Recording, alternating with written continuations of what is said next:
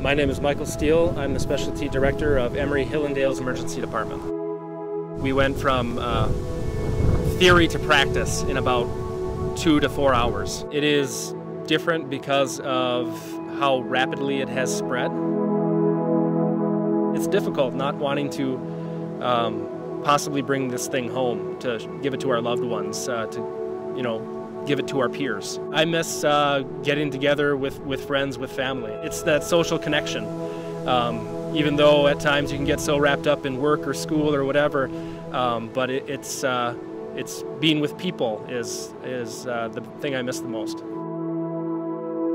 We're doing our jobs. That is what's going to help us get through this, and that's why I feel like we're going to be okay. Um, but I think that it's, it's teaching our, our country and our health system a very important lesson.